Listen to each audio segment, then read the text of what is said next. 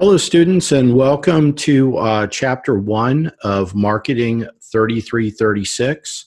Uh, we are going to be talking about uh, Chapter 1 specifically titled Marketing Creating Customer Value and Engagement. And uh, this is reflecting on uh, the principles of marketing, uh, Kotler and Armstrong, 18th edition. So uh, many of you have asked the question is it okay that we have the 17th or 16th edition? I'm a little concerned about if you are studying directly from the 17th or 16th that you may actually miss some content. There's been some uh, significant updates between those last editions and the 18th edition, uh, and you may miss a little bit of content from that. So that's why I specifically uh, shared uh, the links to the 18th edition content uh, in my syllabus as well as, as on our Blackboard site for you to be able to make sure you get the right edition.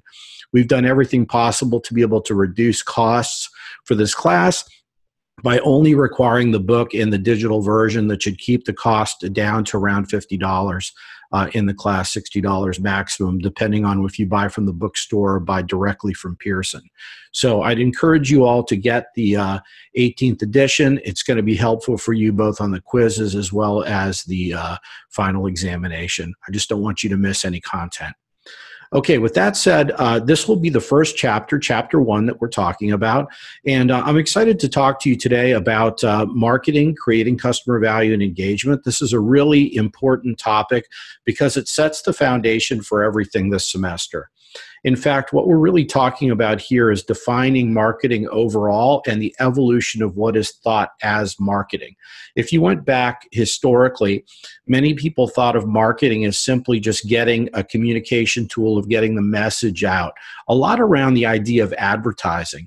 However, marketing is a much greater concept than that. In fact, the, just demonstrated by the title, creating customer value the idea of creating value is is that marketing is just not about communication. It's actually about adding value to the way the customer experiences the entire situation.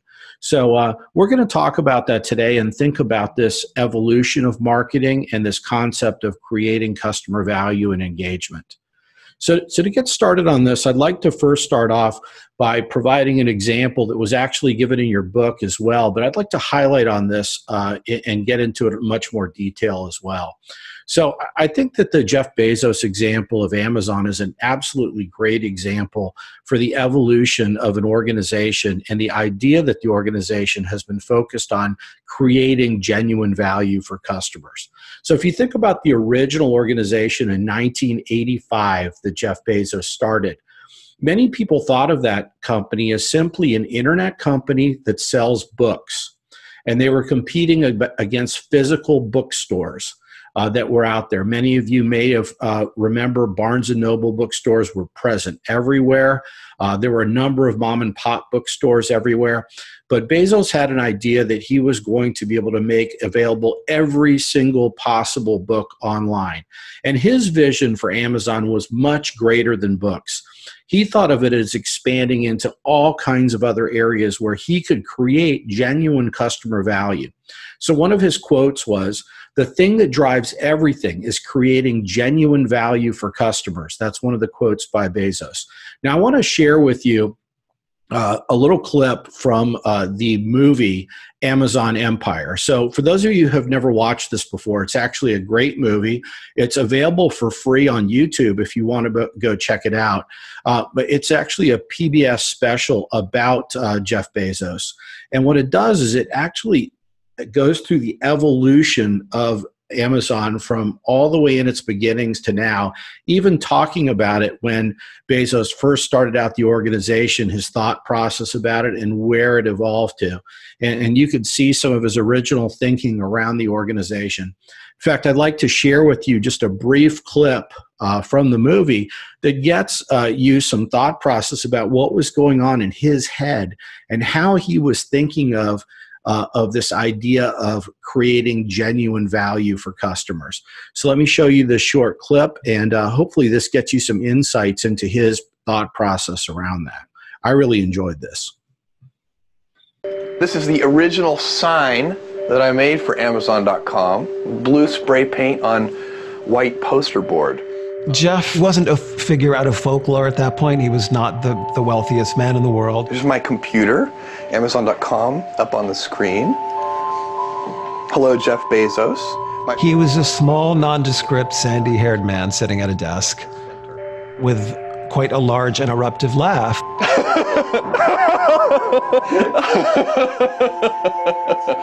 but he wasn't threatening. He was a normal guy to a sort of amazing extent. HAL 9000 hat It's very important.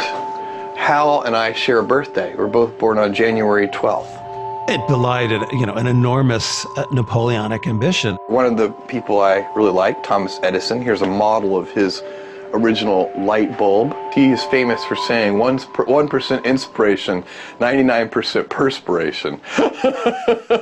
it turns out ideas are the easy part. Execution is everything. Domination was on Jeff's mind from the beginning. One of his sort of second in command people said to me, You have to understand that Jeff wants to sell many more things than books. And Jeff's idea is that uh, in the near distant future, you could buy a kayak from Amazon. And, if, and after you bought the kayak, you could figure out good places to kayak and buy travel services from Amazon. so those ambitions were very clear, and this was very early on. But he was clearly thinking those terms from the get go. How did that ring to you at the time? A little bit exciting and a little bit nutty. Amazon.com. Very good website. You should really try it. if you signed on to work at a, a kind of futuristic bookstore, and the guy who owned it was suddenly talking about selling, you know, every object in the universe, you just weren't sure how seriously to take it.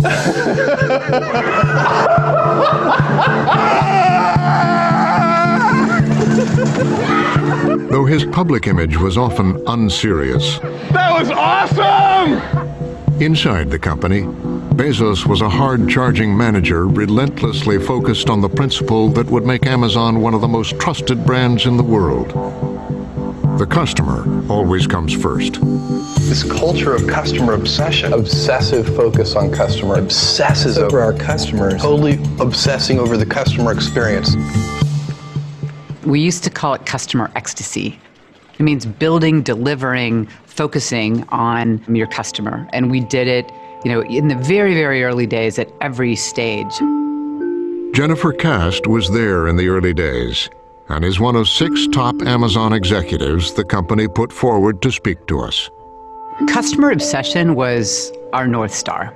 Um, and so, you know, it was a place where we knew we were a part of something that was new, the internet. Um, there was an excitement that we were doing something that hadn't been done before. It was exhilarating um, we were all aligned around building for customers. Hey, you guys. I've heard there was an empty chair that would often be put at meetings. Yeah. Who was in the empty chair? Yeah, so that empty chair was there to remind us all to understand the customer, have empathy for the customer, understand the details of the customer experience. The customer isn't there. We have to bring forward the voice of the customer. So hopefully that gives you a little bit of an understanding of where Bezos was coming from when he actually started Amazon and the idea about being so customer centric. We're going to talk about that when we define uh, marketing today and, and talk a little bit about the, the, the foundations of marketing and what makes for effective marketing. So if we uh, we go to the definition of marketing that our book provides, it's marketing is a process by which companies create value for customers and build strong customer relationships in order to capture value from customers in return. So the idea is is that the organization will do things or make an effort to create as much value as possible for that customer that will be working with them and and with the idea that the customer feels the amount of value they they feel and we're going to talk about what value is in a minute in, in, in with respect to a consumer. But we want to be able to build that value that feeling of value of a strong relationship with that with that company. And as a result we reciprocate by our return of that value. What what do we mean by return of value? So think about some of those companies that you feel best about for for whatever reason you're very loyal to them you've worked with them uh, you work with them regularly you you like everybody there everything about the the organization. So so that company typically has created some valuable experience for you or there's something about it that makes you feel passionate as a result of that, you are loyal. Not only are you loyal, you refer other people maybe to that organization or that company. You may spend more money than the average person does to be able to actually support that organization. I mean, I can think of some examples during uh, the COVID crisis where organizations that had such loyal customers were coming in and giving huge tips to the waiting, the wait staff, uh, really trying to help sustain the organization. For example, at restaurants, because they felt so passionate about the organization as a whole. So, marketing is just part of this entire process by which we create value for the customer. We're going to talk about how this value creation actually occurs uh, in, in an organization. So let's talk about the marketing process. This is pretty basic, but it actually gives you the strategy, the steps by which an organization works to be able to try to capture value for customers in terms of profits and uh, and customer equity. So I'm going to actually go over here and I'm going to start off with uh, with this concept of understanding the marketplace. So if we go to understand the marketplace, customer needs and wants, the first thing that we're going to be doing, and we'll be talking about this quite a bit this semester, is actually scanning the marketplace, doing research in the marketplace, studying our customers, so constantly tapping into data and information about the markets to be able to adapt and be able to create uh, unique opportunities to be able to make sure that we're up to date and offering the things that our customer base really wants. So, next, so we understand that marketplace and our customer needs and wants. The next thing we do is we design a customer value driven marketing strategy. So, based on all that information we've captured, we come up with a marketing strategy that specifically adapts to those customers that we are really interested in tapping into. So, we define who our customer base is that we're going after, and not only do we uh, do we bring a communication campaign, but we think about all the ways in which we as an organization can drive value for that customer base and be able to capture that value in return from them. The next thing that we do is we construct an integrated marketing program that delivers superior value. We're going to actually go into an entire chapter on integrated marketing. And what we mean by integrated marketing is that all of our marketing touch points, that could be sales, uh, that that could be advertising. Uh, that could be dis, uh, display advertising in stores, billboards. Every piece of communication, every piece of touch point to the customer is all coordinated such that we optimize that and we bring it to the marketplace in a way that maximizes value for that customer. And that's what we call an integrated marketing program. From that, we engage our customers, building profitable relationships and creating customer delight. So, uh, one of the first things that we want to be able to make sure of is the customers that we serve. Uh, we want to be able to build profitable relationships. So, what we mean by that is that although we give services and we provide products, uh, to be able to bring value to them. In return, we want to get value back, and in that in that terms, one of the ways we get value back is in terms of profits, and that is the money that we make or the revenue that we make and the profits we make as an organization. And from that experience that we have on both sides, our goal is to actually create what we call customer delight. We're going to talk about this. This is beyond being satisfied. This is actually being delighted as a customer. So this is this is these are the individuals who come back and, and are passionate about our organization. And like I talked about, recommend it to others, uh, hold that organization in very high regard. And as a result of that, we capture value from our customers in return. We create our profits and uh, we create customer equity. And we'll talk about this concept of customer equity, which is a long term value from that customer. Okay. So, uh, so, thinking about that, we want to move forward to be able to understand when we talk about this understanding the marketplace and customer needs. We, I, one of the things in marketing that's fundamental about everything is we want to be able to understand this concept of needs, wants, and demands. So let's let's think about each of these needs, wants, and demands. So when we think about needs, this is the highest order element that, that a, a consumer or customer comes through is the idea of needs. So the idea of needs is, is that I need something. So there's a lot of things that I might need. I might I might have base or foundational needs, like I might need food or safety or things of this nature. But I also might have other needs that, that, that go beyond that, depending on where I am in society or what uh, my situation is. Could be social elements. Uh, it could be personal elements of, of, of how I'm uh, how I'm living. Things like this drive what we call our needs. Those needs push us into what we call wants. They they wants take the form uh, form from those needs that we have. So we have needs, and then from that we start to want things to be able to fulfill our needs. So the wants are those things that that we actually pursue to fulfill our needs. So we say to ourselves, "Wow, I really want that uh, that that new uh, car." Uh, that car is uh, i really uh, so i might need a car for transportation but then i it forms into a want i want to be able to acquire a car and then the question the next statement is what we call demands is I might want a car, but I might not be able to afford a car. So the difference between a want and a demand is a demand is actually backed by buying power. So a person may want something, but they the, they they don't it doesn't translate into a demand because they can't actually afford it. So what we want to understand from our customers when we're analyzing a marketplace is we want to understand what needs are we tapping into with our product how does that turn into a want? And then when does that translate into a demand? So there, there are certain products that are out there, for example, uh, luxury products, where the wants never translate into demands, where a person actually doesn't actually have the buying power to be able to obtain it. So we want to be able to think about these things in all three elements needs, wants, and demands.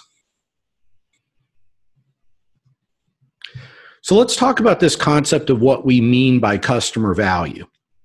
So, value is actually a balance on two ends of things. And so, uh, on one side, we have the marketers that are out there doing our marketing, doing our, our advertising, putting all this information out there about what to expect from our products and our services. So let's go back to that restaurant example. If we talk about having the very best hamburger that's uh, that's that, that can be created, and you know let's just let's just say that we are uh, mcdonald's and we start advertising say that we have actually the highest quality the very best hamburger that you can get out there in the marketplace. This is what we're doing is we're actually advertising but we're we, we could be setting the uh, an expectation for a consumer. Then the consumer goes in to be able to get that hamburger and the question is did they get the very best hamburger that they expected. So, or did they get what they expected that they would get from McDonald's? So, there are, there are things that set the expectation. The marketers help to set expectations, and then there's value delivery. We want to base balance out our expectations and our customers' value delivery. So, one of the things that that delight comes from is being, and we talked about this customer delight earlier, is when you set an expectation level, but you are able to exceed that expectation level as an organization. So I'll give you some examples of this. There's all these really great books out there uh, talking about delight. Uh, one of the books that came out recently by the Customer Executive Board that talked about delight gave all kinds of really excellent examples. I'll, I'll just give you an example of this. A family goes to Disney World. Uh, while they're at Disney, they're uh, they're uh, staying in a hotel room. They really enjoyed their stay in that hotel room. In fact, they stayed at one of the top hotels at Disney called the Grand Floridian. If any of you have ever been to Disney, it's one of the top resorts at Disney. So they stayed at the Grand Floridian. They experienced this. They'd saved up a lot of money for this experience of staying at Disney World at the uh, Grand Floridian. And uh, and while they were there, uh, they had really nice experiences, and they, they really went away thinking, "Wow, this is a, this is a very uh, excellent hotel." But as they left, one of the things they realized is is their daughter had lost uh, her lovey, so her stuffed animal and uh, and they came back and they looked and they couldn't find it anywhere and they had already traveled back to Iowa And uh, and one of the things that the Disney staff did was one of the uh, housekeeping people actually found that little lovey. It was a bunny actually, and uh, and they they took that bunny. And what they did was they they they they got the contact, and they, because it's not unusual for a child to lose one of these toys in the room. And the family said, "Oh, you've got the bunny. That's great." So not they didn't just pack up the bunny and ship it back to the family and the girl. What they did was they actually took that bunny, they brought it around and they had the the the very favored princess of that child, the, the favorite character of that child, uh, actually Cinderella hold that bunny and and make a little saying and and take some photos with the bunny. Uh, they took photos with uh, some other uh, characters, and then they shipped it back with those clips and everything back to the family. Uh, and the family was actually able to see the experience that Bunny had while Bunny was at Disney World and send it back to the family. You, as you can imagine from this, this exceeds any expectation that that family had, and it drove it to what we'd call the delight level. So they exceeded what we would call traditional expectations. They went to delight. What do you think? Is that family going to go back to Disney? Are they going to be passionate about Disney? Yes. So this is an example of exceeding expectations uh, from the, the, the, side of, uh, of service to the market.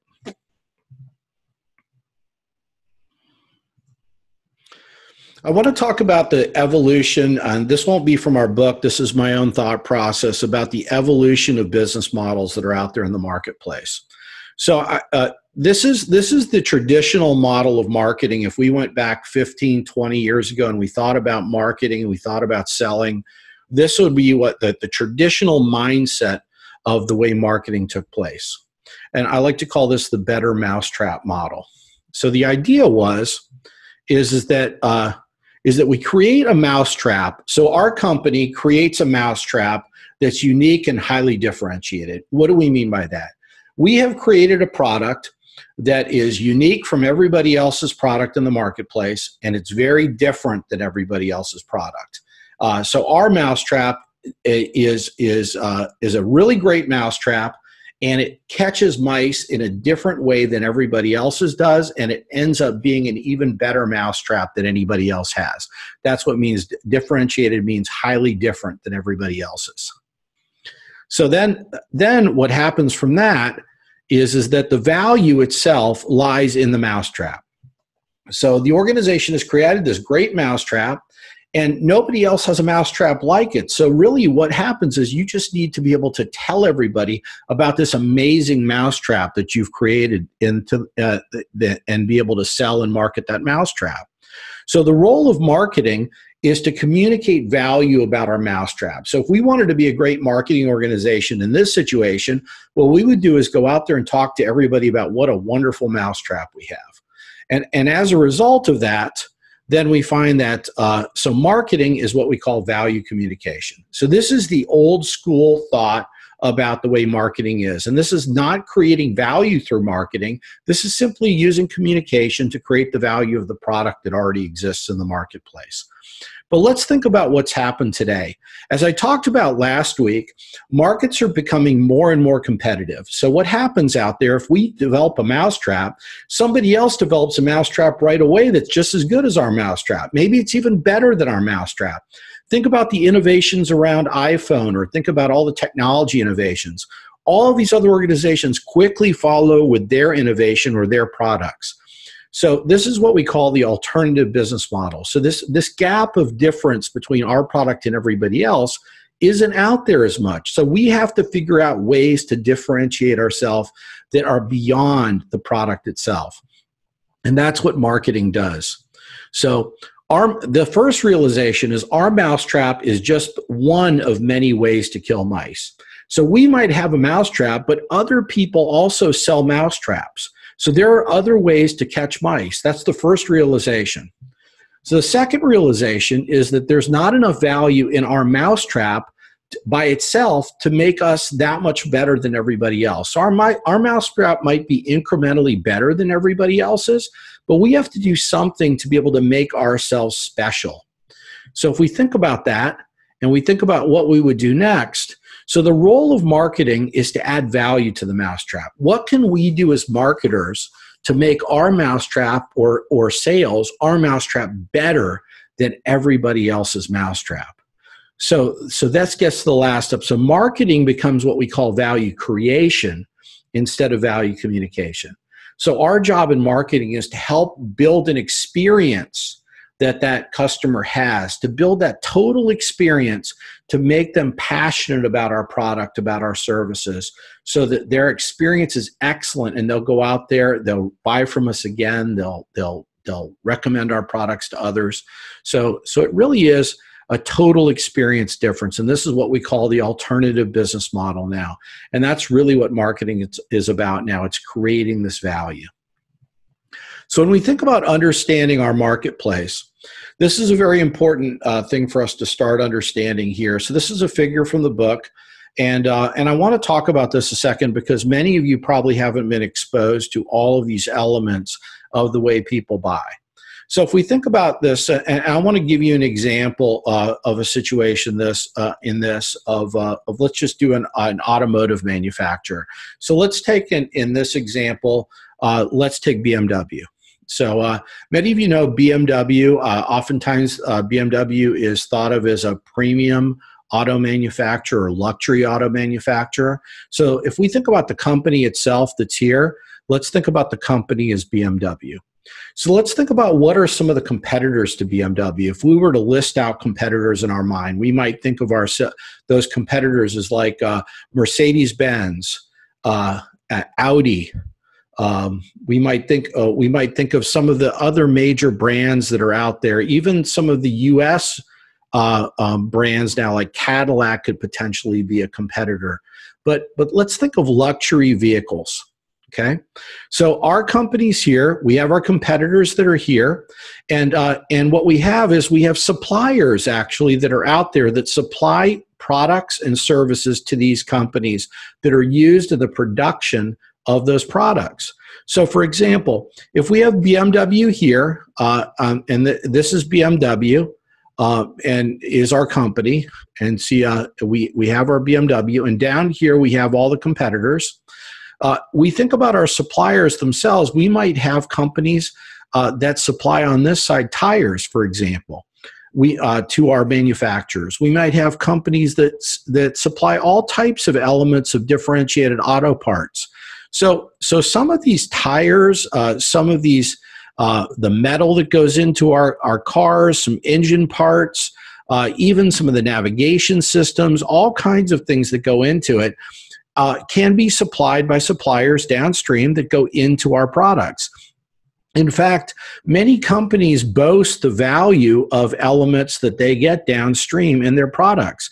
Oftentimes, when you go to buy a luxury vehicle, you might see the stereo or sound system in that uh, in in that in that vehicle. So, for example, I was recently at an Audi dealership, and one of the options was to get a uh, um, a uh, Bose sound system in the vehicle, uh, or or you could get even higher level premium sound systems in the vehicle beyond Bose sound systems. So there were all kinds of differentiated uh, branded things that would go into that BMW. So these are the suppliers that supply downstream to the companies that manufacture and also sell. And then we might have what we call marketing intermediaries that help sell or, or, or sell or distribute our products. So, for example, BMW makes uh, um, automobiles, but in the United States, we have BMW dealerships that are independent of BMW and independently owned that market and sell those BMWs. So those BMWs are distributed to the marketing de- to those dealerships, and those dealerships will sell it to you, the final consumer downstream. Now, marketing and mark and forces all happen throughout this entire what we call supply chain. So the suppliers are constantly marketing downstream to the uh, to to BMW. BMW is competing with those competitors. Those suppliers are selling to them as well as the competitors. They are selling downstream to the marketing intermediaries and being able to make sure they distribute those products. And those products are then distributed downstream to the final consumer. So this this entire chain or understanding this marketplace drives customer needs all the way downstream. So these suppliers, let's say these audio suppliers that supply audio for the final users, they not have to they not only have to be able to market specifically to BMW, but they have to market downstream to final customers. So if you wanted to get a Bose uh, um, sound system in your vehicle or an Alpine sound system in your vehicle, you might actually look upstream and you might then uh, be able to look for it when these marketing intermediaries like dealerships sell the BMWs. So all of these forces affect across the board, and customers are buying all the way downstream to what we call the consumer. So, I want to talk about the difference between a customer and a consumer. So, a customer is, is, is an individual that buys from somebody upstream. So, a customer buys upstream, but the ultimate person that actually uses that product or service is what we call the consumer. So the consumer is the ultimate user of that product or service. The consumer is also a customer because they purchased uh, upstream, they, they, they, are customer. But a, a customer is all of these BMW, the competitor, the intermediary, all the way, anyone that participates in a transaction that gains value is a customer. And then we have our ultimate end consumer, the one who consumes that product or service. Okay.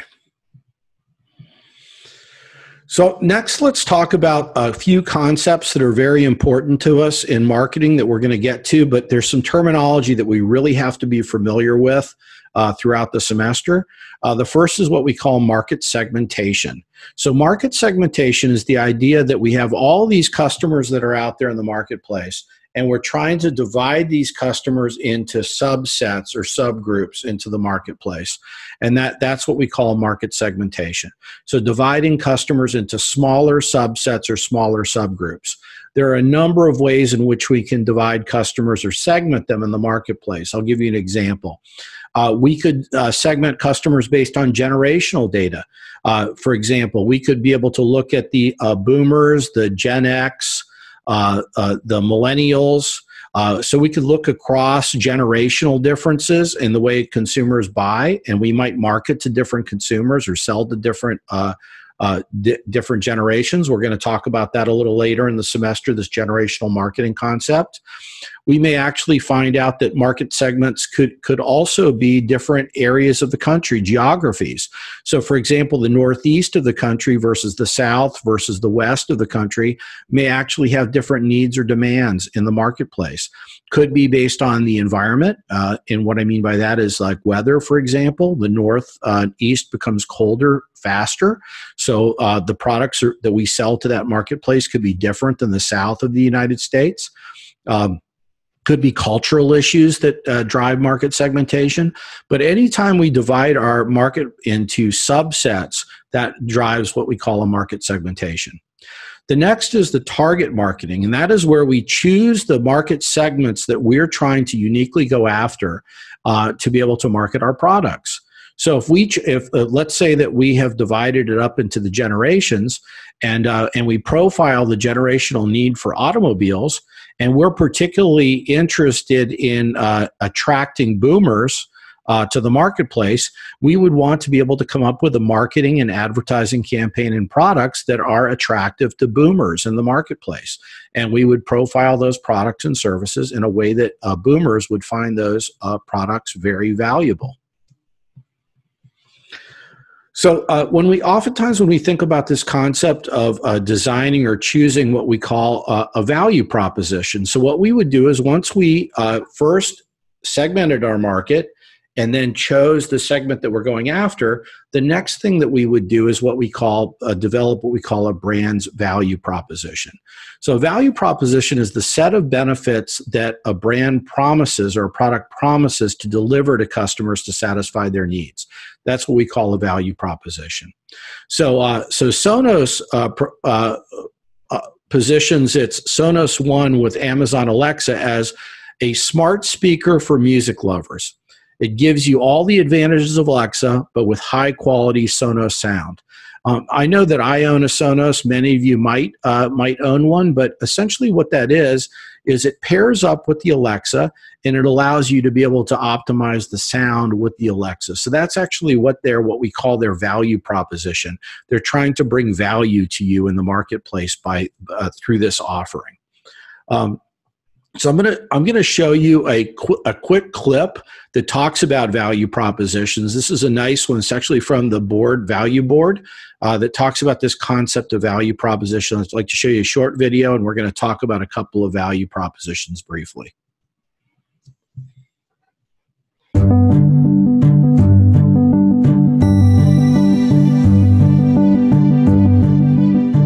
What is a value proposition?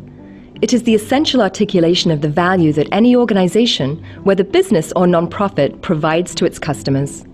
Lots of people talk about value propositions. There are many differing descriptions of what constitutes a value proposition. Commonly, it describes the collection of products and services a business offers to meet the needs of its customers. It also includes the ways in which those products and services are different from competing offers. However, a value proposition is much more than just a simple articulation of the value an organization provides. It is the key foundation that underpins a business model and an essential tool for testing your business hypothesis in the world. There are four key elements of a good value proposition. 1. Who is the customer? Who is the value for? 2. What problem are you solving for this customer? 3. What is your solution? And how is it solving the problem? And four, what are your differentiators? How is your solution better than what's already out there? Differentiators must be quantifiable so that they can be tested and measured with your customers. Why is this important? You need to be able to test whether the solution you're providing actually fits a need. If you can't quantify the solution to customers, you won't know whether your solution is sufficient. If it's not quite a fit, you'll want to make changes to your product early to better align it with the needs of the customer. Let's look at an example. Spring Health is a company founded by well-known social entrepreneur and thought leader Paul Polak. He saw an opportunity to improve the health of families while significantly lowering the cost of drinking water in smaller villages in India. Let's look at the four elements of Spring Health's value proposition. First, the customers are rural villagers who have no reliable access to clean water. Second, the problem is that available solutions are too big and expensive relative to the demand of a smaller village. Because of this, 90% of families are drinking bad water, which makes them sick and requires costly doctor visits. Third, the solution developed was an inexpensive electrochlorinator that produces a chlorine solution which is distributed by a motorcycle rider to each village where the water in the village tank is treated. Sales are through a partner village shopkeeper on commission. Customers can easily get to the shop and buy water. Fourth, relative to competition, customers get water at a reasonable price, at a location convenient to their home, and with water quality assured by the company. As described in Paul's recent book, The Business Solution to Poverty, Paul and his team used their well defined but still hypothetical value proposition to test their assumptions with customers. In that test, they found that a few of their differentiators needed modification. For example, they found that customers would pay more to have the water delivered to their homes. This became part of their differentiators. They were able to solve the last mile problem of water delivery at a price their customers can afford. A well crafted value proposition is the first step to making sure you are solving the right problem for your customers. It allows you to test whether your customers care about the value you think you're providing. Testing your value proposition can save time and money and help you get your product to market faster.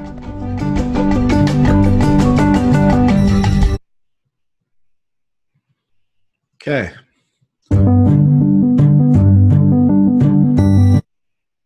All right, so I want to give you a couple examples, and I want you to think about some of these value propositions. Uh, I was able to pull up uh, uh, five different value propositions that are shared from different companies. And thinking about, I'd like you to think about how well these value propositions are actually delivered through those organizations. So um, let's go through each of them. BMW. So BMW's promises that what they call themselves the ultimate driving machine. So think about the expectation that that sets for you when you read that promise, the ultimate driving machine, uh, ultimate luxury, ultimate satisfaction. So that that that's their expectation they're setting through their value proposition.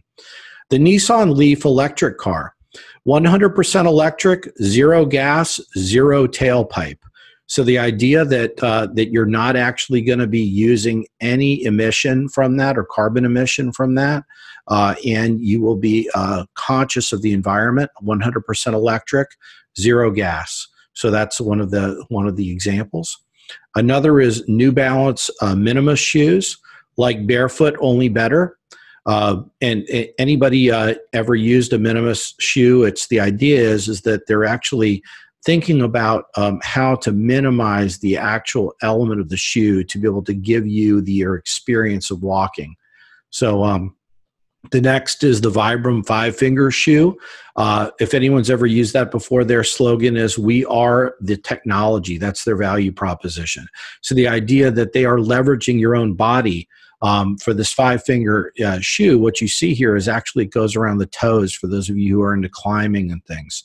So you are the technology. Facebook, connect and share with people in your life. So the idea of connecting up and actually socializing and sharing with other people. And then YouTube provides a place for people to connect, inform, and inspire others across the globe. So I'd like you to just think about all these and, and think about the way these companies have set up what we call their value propositions. And I'd like you to think to yourself, well, which ones of these do I buy into? Um, uh, have I experienced any of these products? Do these appeal to me? Think about my own profile, my own background and, uh, and, and realize whether they're targeting you from this type of an advertisement as well. So, um, so this is a very important way to think about things as far as their value proposition. What value will they bring to you? So, one of the things that we're going to be talking about this semester quite a bit is uh, is designing a customer value marketing strategy. So, how do we design a strategy that actually focuses on the customer as a whole? So um, uh, we're going to be talking about several concepts that that uh, firms use to be able to bring strategy to the marketplace. The first is what we call production, the product concept, the selling concept, the marketing concept, and then what we call the societal marketing concept. I'm going to talk about each of these briefly. So, the production concept, customers will favor products that are available and highly affordable. So, the production concept is really the idea that, be, that to, to get our products out there as, uh, as cheaply and as widely available as possible to be able to maximize the availability of this product in the marketplace. So, so many uh, many products actually try to do this. They try to make it as widely available as possible, as affordable as possible, so that anybody can use it. So, this is actually just a, a general concept to produce and get this product out there to as many people as possible. That's one of what we call our marketing management orientations, the production concept. The product concept. Customers favor products that offer the most quality, performance, and features. So this focuses on product improvement. So the product concept, and this is what we were talking about before, is a focus on try to make the very best product that there is out there. And all the value is established from the product itself, how it differentiates itself from the other products in the marketplace. The selling concept. Customers will not buy enough of the firm's products unless the firm undertakes a large scale selling and promotion effort. So this oftentimes the selling concept are products that the product itself is not that different than the competitors' products. Uh, in fact, there's very little difference between your product and the competitors. We don't have a price advantage over anybody. Uh, we don't have this ubiquitous, this idea of, uh, of, of huge availability throughout the marketplace. So, what do we do? We have what we call the selling concept, and that is we have the most effective sales strategy out there. We push our product, we promote our product, we advertise our product into the marketplace. We're, we're everywhere out there. So, uh, co- companies that you'll say using the selling concept uh, are getting the information and advertising and promoting their product like crazy. And their product may not be different than the competitors, but they're getting that, that the concept and the, the knowledge of that product out there in the marketplace as available as possible. The next is what we call the marketing concept. We know the needs and wants of the target market. So if we think about our target market, who those that we want to target. So remember we talked about the segment, the market segments, and then the market, the target market is the, the segment that we're trying to go after. And we deliver our desired satisfactions better than any other company. So we focus on that market and we try to satisfy that group better than anybody else. And as a result, that's what we call our marketing concept.